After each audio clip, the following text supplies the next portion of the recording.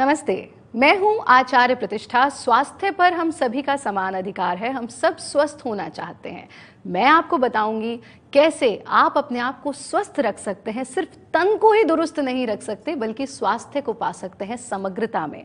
गर्मी बहुत बढ़ गई है, और ऐसे में अगर योग आपके पास है तो आप कर सकते हैं हीट को बीट। आज के एपिसोड में आप जानेंगे वो आसान सी क्रियाएँ, घरेलू नुस्खे, जिनको अपना करके आप गर्मियों से मुक्त रह सकते हैं। लेकिन उसके पहले आज का योग विचार।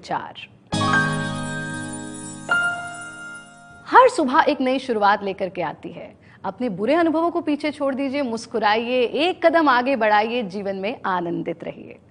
अगर आप भी चाहते हैं गर्मियों में एसी के बिना भी एसी का आनंद पाना तो आपको करने हैं ये दो ब्रीदिंग पैटर्न्स इसी प्रकार से आप अपने आसन में बैठेंगे और बैठ करके अपनी जीप का पाइप बना करके करेंगे शीतली प्राणायाम का अभ्यास। आप इसे कुर्सी पर बैठ करके भी कर सकते हैं। जीप का पाइप बना लें।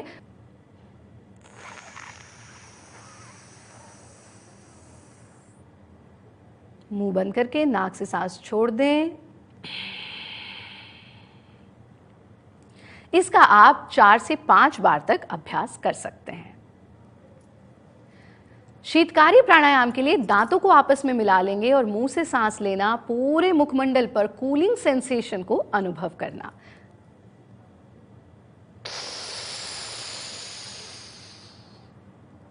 मुँह बंद करके नाक से सांस छोड़ देना।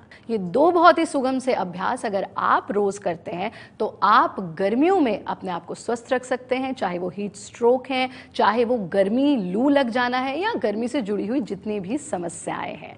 और जाते जाते हमारे कुछ घरेलू नुस्खे ज़रूर सुनते जाएँ। आप दिन में पानी खूब पिए। कोशिश करें कि दो से तीन बार नींबू पानी का सेवन ज़रूर करें। दही को अपनी डाइट में इंक्लूड करें। सत्तू का सेवन करें, खस का सेवन करें। क्रोध से दूर रहें। हमारा ये कार्यक्रम ज़रूर देखते रहें, क्योंकि कल मैं आपसे मिलूँगी एक नई समस्या और उसके नए समाधान के साथ। धन्यवाद।